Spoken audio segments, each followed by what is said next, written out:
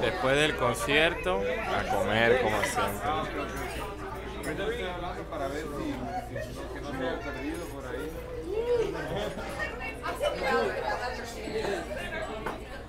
Sí,